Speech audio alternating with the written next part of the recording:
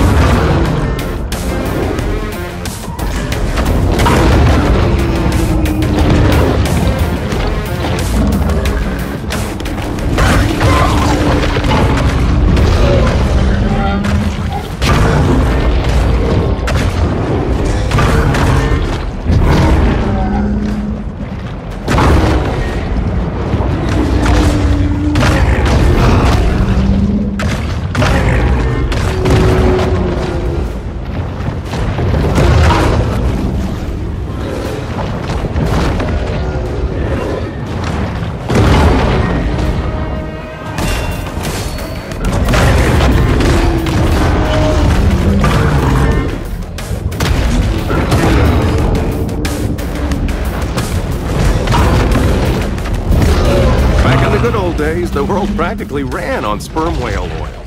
Now we can only watch them from afar, dreaming of tapping their skulls for all that sweet spermaceti.